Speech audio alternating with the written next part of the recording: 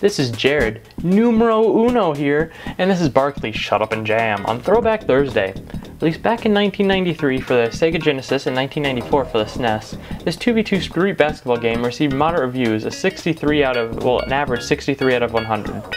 Uh, in this game, there's only one true rule, and that's to win. Okay, let's begin with the facts. Fact number one.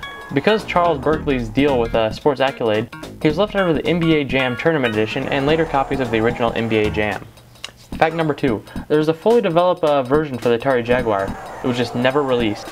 Uh, fact number three, there's an official sequel, Barkley Shut Up and Jam 2, and two unofficial fan games. Uh, if you Google them, they're called uh, Tale of Games presents Chef Boyardee's Barkley Shut Up and Jam Gaiden, Chapter 1 of the Hoopz Barkley Saga, or just Shut Up and Jam Gaiden. And its Kickstarter back sequel, um, the Magical Realms of Tir Na uh, Nog, Escape from Necron 7, The Revenge of Cthulhu, uh, the, the, official game of the movie, Chapter 2, The Hoopz Barkley Saga. Uh, it's also referenced as Barkley 2, just to help you out there instead of trying to type that all out.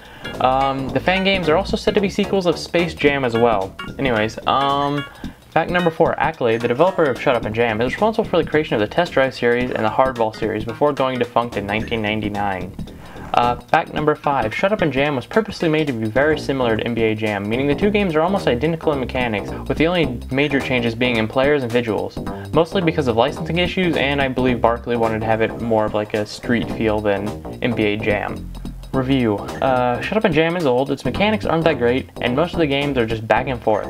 Uh, but with friends, this game is a slam dunk. It's a great game to have just to laugh at, even if you don't know what's going on or you don't know how to play the game. Like I said, don't play solo, grab a bud and hit the court.